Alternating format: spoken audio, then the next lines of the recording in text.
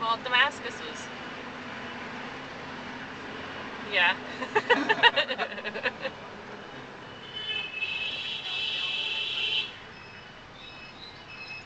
Yeah, even uh, last time I was reading an article in the BBC, you know, yeah. saying that the population uh, not, I mean, all the religions are against it, uh, population control, no?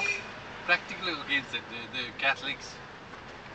The, Yeah. uh, the Hindus, uh, the, the Muslims, they are not talking about population control at all, you know?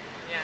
So without population control, I mean the global warming and climate change and all that, this is bound to be affected. Mhm. I agree. And uh, I think it's only China that has a good program, population of population control.